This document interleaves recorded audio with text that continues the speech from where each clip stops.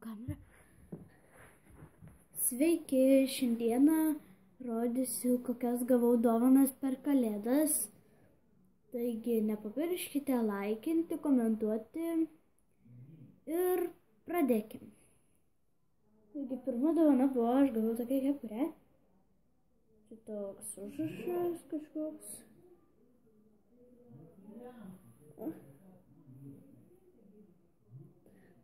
Pukutis labai švelnus.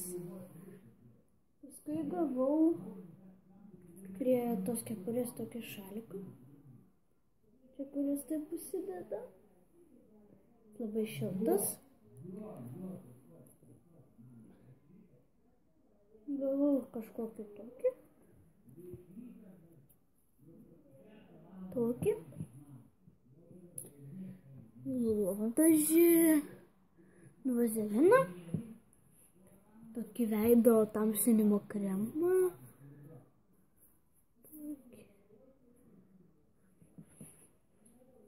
Podelį su gaičia metais.